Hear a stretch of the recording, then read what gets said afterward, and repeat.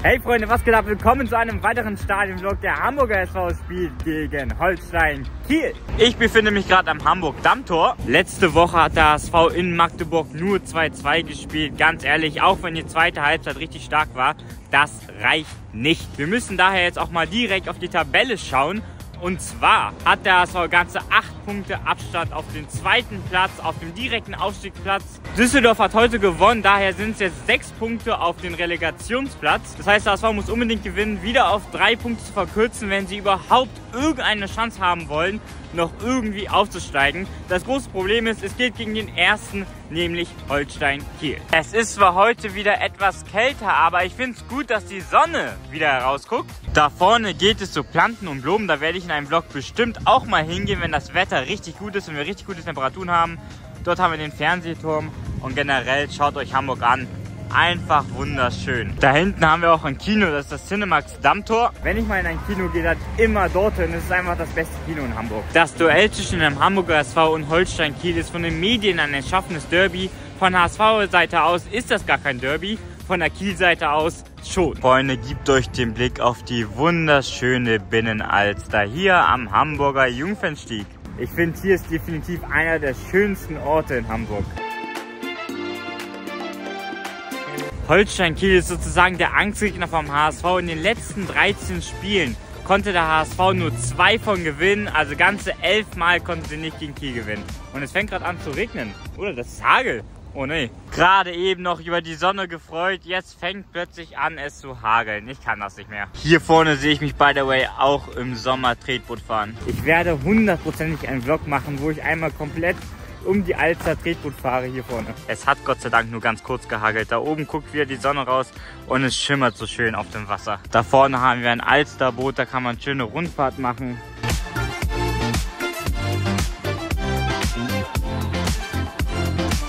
Alter, ich lebe in dieser Stadt und ich bin trotzdem jedes Mal fasziniert, wie schön sie ist. Oh Hamburg, meine Perle, du wunderschöne Stadt. Und da ganz hinten sieht man auch das Hamburger Rathaus.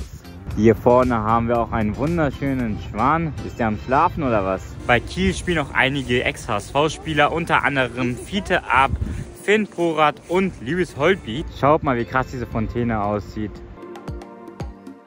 Für Holstein Kiel geht es aber in diesem Spiel um genauso viel. Sie können das erste Mal in ihrer Vereinsgeschichte aufsteigen. Kiel ist eigentlich ein nicht so großer Verein, denn die haben vor zehn Jahren noch Regionalliga gespielt. Hier an der Binnenalster befinden sich auch so viele Tauben gestört. Und Enten dürfen natürlich auch nicht fehlen. Ich befinde mich in der Mönckebergstraße. Da vorne sieht man das Rathaus. Hier vorne hat man die Hauptkirche St. Petri. Hier gibt es generell sehr viele Geschäfte. Hier befinden sich auch die einzigen Adidas und Nike Stores. Und hier vorne befindet sich auch der größte HSV-Shop. Ich habe heute ehrlich gesagt noch gar nichts gegessen. Es geht zu Bürgerlich. Wisst ihr, was das Coole ist bei Bürgerlich? Schaut mal. Ah, top, Digga. Vorführeffekt. Man bestellt auf einem Bildschirm. Ist das nicht cool? Ich gehe dann direkt auf Burger. Also man hat schon eine gute Auswahl, muss ich sagen. Burger und Pommes sind bereits bestellt. Ist noch eine Limonade dazu. Cent Order. Karte dran halten. Perfekt. Ihr wisst gar nicht, wie sehr ich gerade Hunger habe. Ich habe wirklich gar nichts gegessen heute. Das Getränk ist auch schon mal da. So, da haben wir das gute Ding. Sieht schon mal richtig fresh aus. Und ist auch eine ordentliche Portion, muss ich sagen. Und die Pommes. Also ich habe jetzt schon ein bisschen probiert und ich muss sagen, ist ein richtig, richtig starker Burger. Das Fazit zu dem Ganzen, also ganz ehrlich, die haben gute Burger, gute Getränke, Pommes waren in Ordnung, Location ist ganz cool und das Essen kam richtig schnell. Also gebe ich den Ganzen eine 8 von 10, kann ich nur weiterempfehlen. Freunde, wenn ich eine Sache nicht verstehe, dann ist das Wetter in Hamburg. Es hat heute die Sonne geschienen. Es hat gehagelt und jetzt regnet es. Ich verstehe es null. Aber egal, ich habe ja Gott sei Dank ein Dach über dem Kopf und freue mich jetzt auf ein geiles Topspiel zwischen den Hamburger SV und Holstein Kiel. Und Freunde, ich lege mich jetzt fest, wenn dieses Spiel heute nicht gewonnen wird, dann war es das mit dem Ausstieg. Ja, ich weiß, die meisten Fans glauben ohnehin schon nicht mehr dran. Ich schon. Aber wenn das heute nichts wird, wenn das heute verloren geht, dann war es das wirklich. Dann gibt es keine Chance mehr. Freunde, da wären wir. Da ist das Volksparkstadion. Man sieht schon das blau beleuchtete Dach. Das wird heute auch ein Flutlichtspiel und ich liebe einfach Flutlichtspiele. Und ich glaube, das wird heute ein 3 zu 2 für den HSV. Ich glaube, dass sehr viele Tore fallen werden. Und Freunde, ich befinde mich heute auf der Osttribüne. Hier oben irgendwo. Das ist der Blick heute wir haben einen richtig schönen Überblick über das ganze Spielfeld. Schön mittig. Die Kieler da hinten haben heute auch einen richtig großen Block. Aber ich bin mir sicher, dass die Nordturbine heute alles geben wird. Da hinten sieht man schon die Tücher an der Nord. Wir wissen alle, was das heißt. HSV! HSV! HSV! HSV! HSV! HSV! Die Nordturbine ist crazy laut. Schon bei Bayern gegen Arsenal gab es Pyro-Show, heute auch. Bin gespannt. Und jetzt achten wir auf eine Sache. Es macht der gesamte Block mit. Nicht nur irgendwie der innere Kern oder so, der gesamte Block. Oh, ist das laut! Ja, es war mit der Ansage gegen Holstein Kiel. Wirklich keine Worte.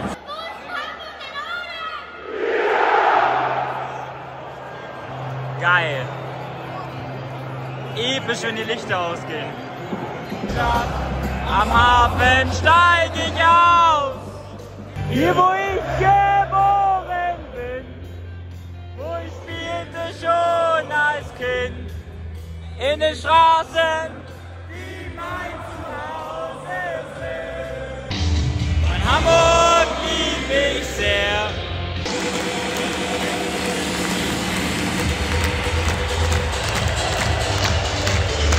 Die Kieler haben eine Choreo vorbereitet. Let's go Holstein. Der untere Block in blau, der in der Mitte in rot und der obere wieder in blau. Platze! Und da kommen die Spieler hinein. Schwarz-Weiß-Blau geboren.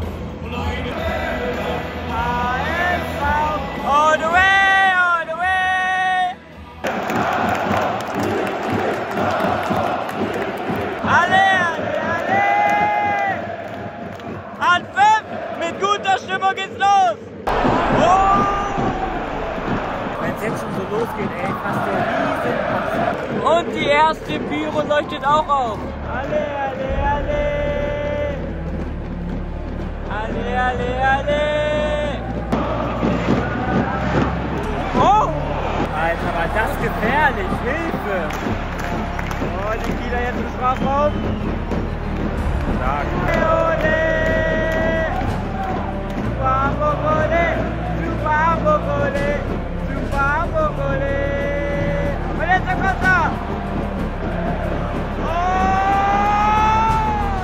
Also wirklich, die Stimmung hier ist verrückt.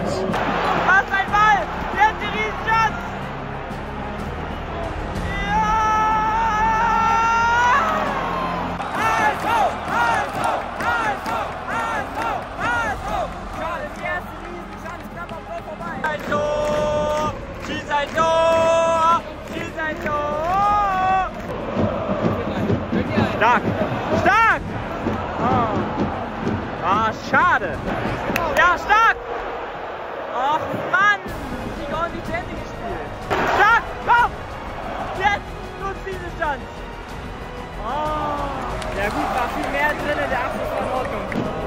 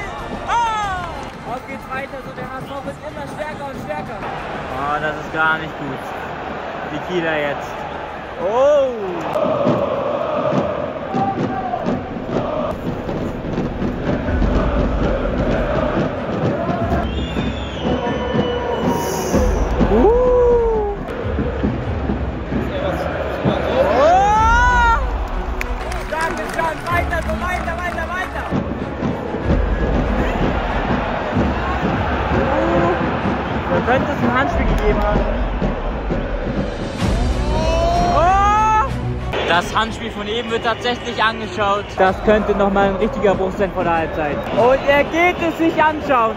Ich fasse es nicht, bitte nicht. Bitte nicht, das würde uns vor der Halbzeit noch so brechen. Ja, ich habe es mir gerade selber angeschaut. Der Ball ist ganz klar in der Hand, es wird einen geben. Und? Was? Was? Hä? Also für mich sah es auf meiner Video auf dem Handy so aus, als hätte er die Hand berührt. Aber ich habe auch ganz schnell nur geschaut, aber Glück gehabt. Halbzeit. So Freunde, kommen wir zu einem Fazit zu diesem Spiel. Ein sehr, sehr ausgeglichenes Spiel. Man hatte Glück mit dem Elfmeter. Sehr, sehr knifflige Situation. Ich weiß gar nicht, was am Ende dazu geführt hat, dass der Elfmeter nicht gegeben wurde. Ich hoffe auf eine bessere zweite Halbzeit und auf mehr Tore. Anpfiff! Hey! Ganz klar! Was? Also für mich sieht es auf den ersten Blick ganz klar aus wie der Elfmeter. Also ich habe es mir nochmal angeschaut. Es war ein Foul, meiner Meinung nach. Aber halt außerhalb, also bringt eh nichts. Junge, Junge. Die zünden plötzlich Raketen. Hilfe. Und da geht das Pyro wieder an. Oh mein Gott. Es geht weiter. Hilfe. Es erfolgt eine Sicherheitsdurchsage für beide Seiten. Boah, was ist da los? Hier als auch für die Nordtribüne. Das ist sofort Zünd- und Abritt von Pyrotechnik.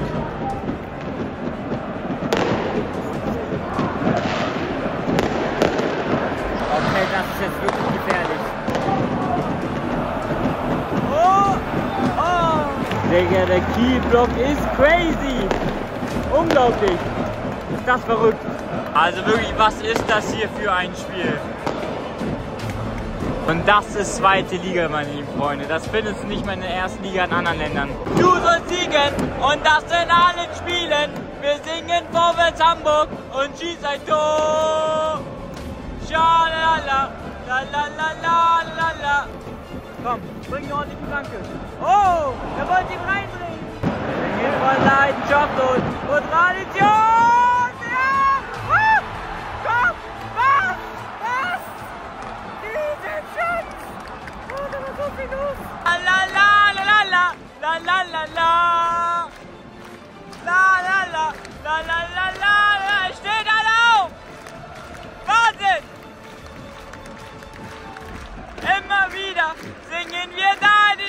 Da tut sich scheinbar noch mehr bei den Kielern. Also die sind wirklich verrückt.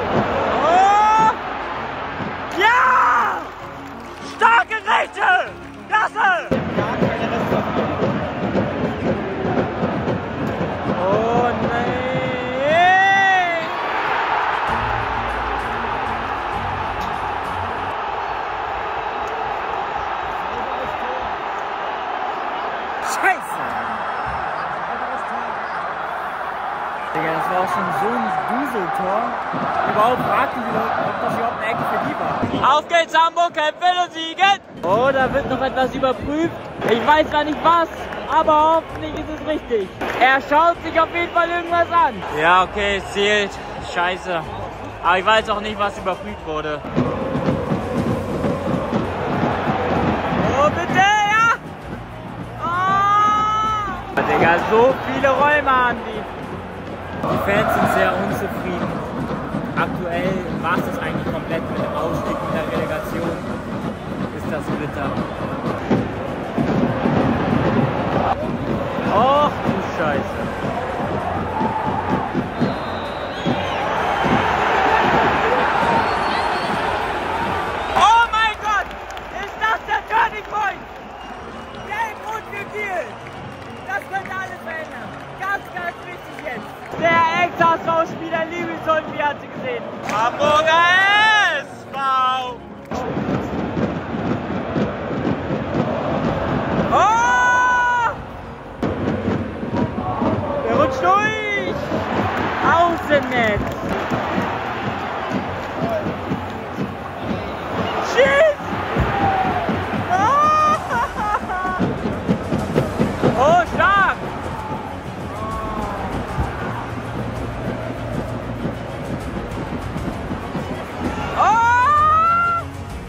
HSV setzt Kiel komplett unter Druck, die spielen jetzt komplett defensiv.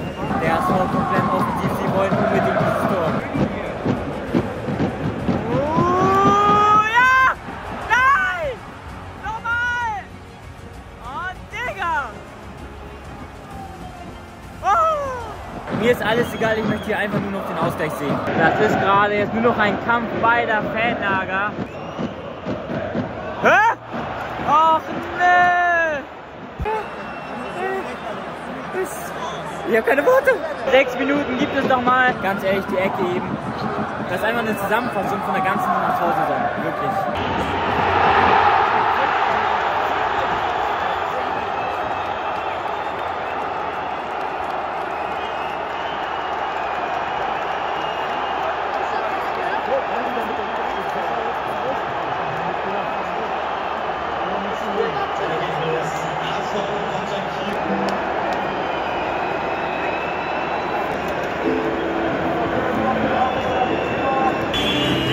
Mannschaft wird jetzt lautstark ausgepfiffen.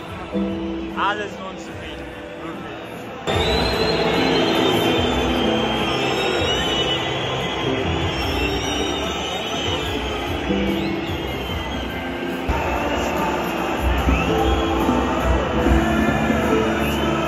Oh Mann, Freunde, ist das bitter. Das ist der komplette Bruch. Ich finde es trotzdem nicht in Ordnung, die Mannschaft auszupfeifen. Klar, ich kann die Enttäuschung verstehen. Aber ganz ehrlich, in guten wie in schlechten Zeiten zueinander stehen. Es sind jetzt sechs Punkte auf Düsseldorf uneinholbar gefühlt. Also es muss ein Wunder passieren, damit der HSV hier noch irgendwie aussteigt oder in die Relegation kommt. Ausstieg, Direktausstieg sowieso nicht. So, ich freue mich jetzt nur noch auf das Stadtderby. Das wird nochmal ein riesen Highlight auf meinem Kanal sein. Falls das Video trotzdem gefallen hat und du andere Videos wie Bayern gegen Real oder Bayern gegen Frankfurt nicht verpassen möchtest, dann lass doch gerne ein Like da, abonniere den Kanal, um nie mehr etwas zu verpassen und dann sehen wir uns beim Stadtderby. Ciao.